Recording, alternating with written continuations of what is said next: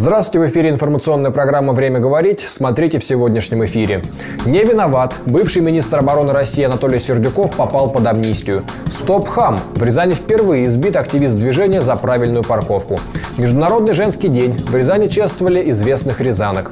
Теперь об этих и других новостях подробно. Главной новостью этого дня стало известие о том, что уголовное дело в отношении бывшего министра обороны Анатолия Сердюкова закрыто. Сам он попал под недавнюю амнистию. Об этом сообщило информационное агентство и Тартас со ссылкой на источник, близкий к следствию. Других дел в отношении Сердюкова не расследуется, сказал собеседник агентства. Он уточнил, что решение о применении амнистии к Сердюкову было принято уже давно. Ранее в СМИ появилась информация, что решение об амнистировании бывшего министра военные следователи приняли 21 февраля. Военная прокуратура не возражала против этого решения.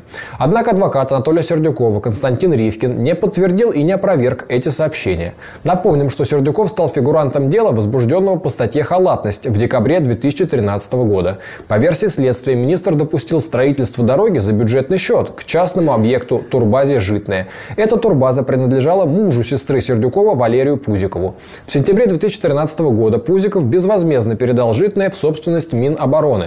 Сам Пузиков в январе 2014 года также стал фигурантом уголовного дела. Его подозревают в злоупотреблениях на 12 миллионов рублей. В феврале подозреваемого объявили в розыск. 5 марта стало известно, что он добровольно явился в Следственный комитет и был освобожден под подписку о невыезде. Сердюков был уволен с поста министра осенью 2012 года. Тогда же следственные органы начали возбуждать большое количество дел о коррупции в военном ведомстве. Самым крупным стало дело о хищениях нескольких миллиардов рублей через холдинг «Оборонсервис». Главной фигуранткой дела является бывшая чиновница Минобороны Евгения Васильева, которую называют приближенной Сердюкова. Она содержится под домашним арестом.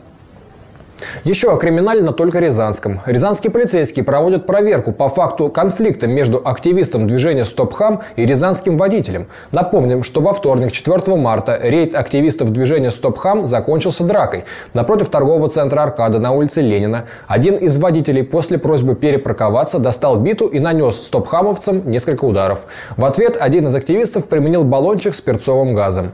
В результате драки активисты получили ушибы, а водитель – химический ожог. К другим более мирным темам. Сегодня в Рязанском техникуме пищевой промышленности, общественного питания и сервиса состоялся областной фестиваль «Гимн профессии». Будущие пекари, повары и кондитеры соревновались между собой в умении вкусно готовить. Каждый год на базе техникума пищевой промышленности проходит региональный конкурс профессионального мастерства. И в этом году студенты, будущие повара, прошедшие строгий отбор в своих учебных заведениях, прибыли в Рязань для того, чтобы показать уважаемому жюри, на что они способны. Ребята прошли внутри училищные, внутри техникумовские отборочные конкурсы. Там тоже проводились в каждом учебном заведении. Затем идет региональный конкурс, и э, победитель отправляется на всероссийский конкурс. Мы пригласили в качестве членов жюри специалистов, профессионалов, которые будут уже смотреть с точки зрения, ну, скажем, профессионального отбора наших студентов. Королева стола – рыба треска. Приготовить ее нужно так, чтобы впечатлить своих более опытных коллег. Ребята готовились, тщательно распределяли между собой компоненты, из которых в конечном итоге должны появиться шедевры кулинарии. Мне кажется, вот эти конкурсы многое дают. А, самое главное – опыт, общение. Блюдо мое называется «Для милых дам». Э, что у него будет ходить? Треска, помидоры, кабачки, цукини, сок лайма. И каким бы ни был результат конкурса для каждого из участников, им уже давно понятно, с чем они свяжут свою жизнь. Ведь профессия повара очень важна, и далеко не каждому дано природой готовить, уж простите за каламбур, со вкусом. Накануне Международного женского дня в областном министерстве спорта чествовали известных рязанок. Все они имеют прямое отношение к спорту, физкультуре и здоровому образу жизни. Из рук министра молодежной политики и спорта Татьяны Пыжонковой заслуженные награды и благодарности получили мамы и жены знаменитых спортсменов и тренеров, а также женщины, воспитывающие нескольких приемных детей. Татьяна Пыжонкова пожелала рязанкам любви, здоровья и выразила благодарность за их труд и заботу о ближних. Среди награжденных ветеран труда, мастер спорта по лыжным гонкам Людмила Васильева. В свои 76 лет она по-прежнему любит выйти на зимнюю трассу и побегать на свежем воздухе. Последние 24 года работала в кооперативном техникуме. Тоже ведь вот так вот вспомнишь, столько приходилось работать. Ведь я там провела две спартакиады республиканского значения в своем техникуме, на базе техникума, по легкой атлетике, по плаванию еще. Вот. И многих я спортсменов подготовила. Вот сейчас это моя гордость. В завершении встречи Татьяна Пыжонкова пожелала всем собравшимся дамам, чтобы мужчины носили их только на руках.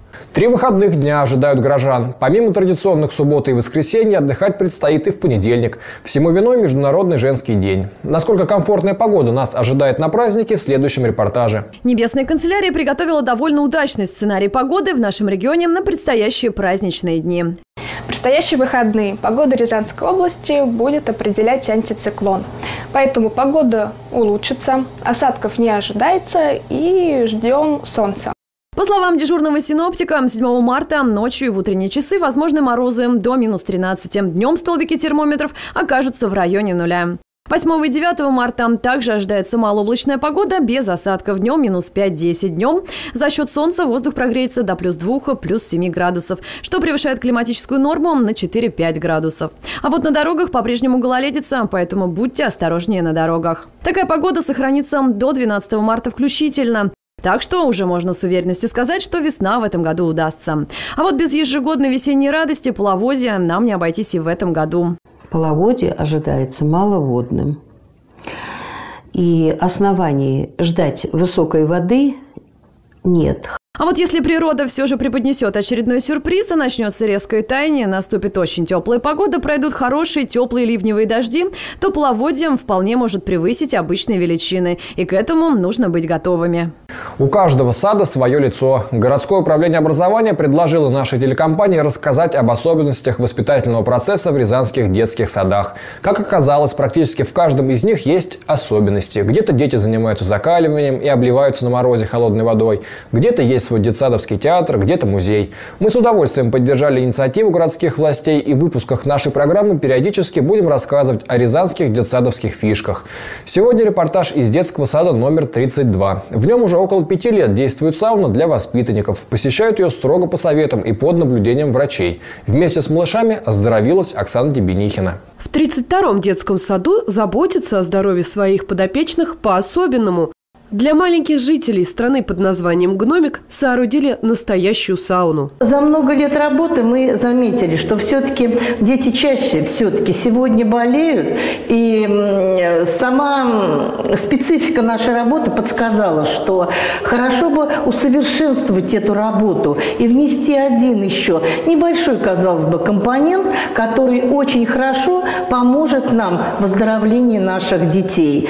И, можно сказать, совсем недавно, благодаря стараниями нас, стараниям э, строителей и наших родителей, которые захотели, чтобы это было, появилась сауна. Кроме того, с малышами проводят физкультурно-оздоровительные занятия в бассейне. В общем, приучают нашу молодежь к русским традиционным методам закаливания и в совокупности развлечения. Как говорится, из парилки в прорубь. Побыв немножечко э, в тепле, э, дети с удовольствием бегут в бассейн. И я думаю, что это один из видов хорошего, здорового образа жизни наших дошколят. Малышня от таких занятий приходит в неописуемый восторг. Еще бы! Ведь у них буквально под боком круглый год находится источник безграничного потока развлечений. Да к тому же еще и полезный для здоровья. На сегодня это все. Далее в эфире программа «Подробности», гостем которой стал священник отец Павел Коньков. Тема программы «Великий пост», который начался на этой неделе. До свидания.